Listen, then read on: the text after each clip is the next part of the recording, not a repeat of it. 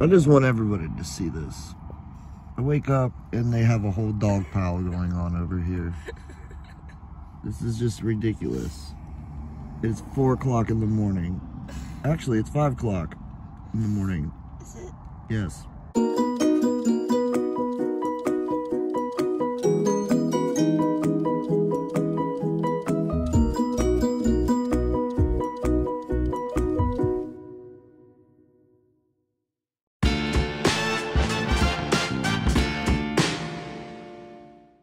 And we are here in Jacksonville still. We are going to Mythical Mountain Comics and Toys.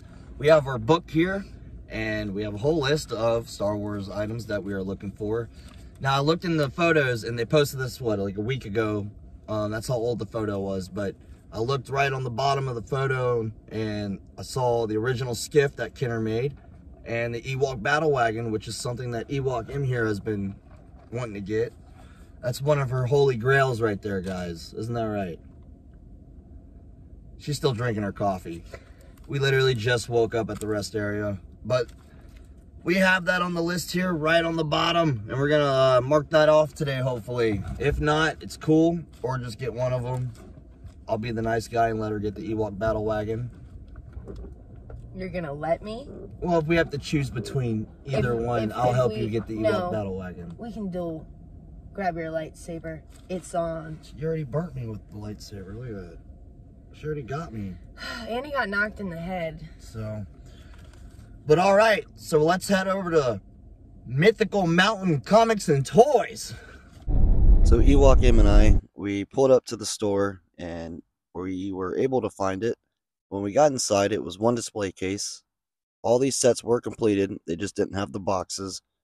They did not have the Ewok Battle Wagon or the skiff. Unfortunately, they weren't there, so that's okay. The cantina there, it has its doors. So all these sets are in good shape, but we were able to find something that we do have on the list, and we were able to well, we were able to get it. So what we did was we scratched that off the list. And yes, that's right. We got the Cloud City playset. What do you got there, Ewok M? We've got Cloud City, the playset. And it still got its knobby things for them to stand on. It was See it? priced at 200 so we went half and half on it. We usually see it for what, like $300? Uh-huh. So we got this and it's gonna be marked off the list. So that was very unexpected to find this, and we are very excited. Go out there and toy hunt, guys. You never know what you're going to find and mark off your list. May the force be with you guys. And you know it. Take care, my Star Wars friends. Bye, guys. See y'all next time.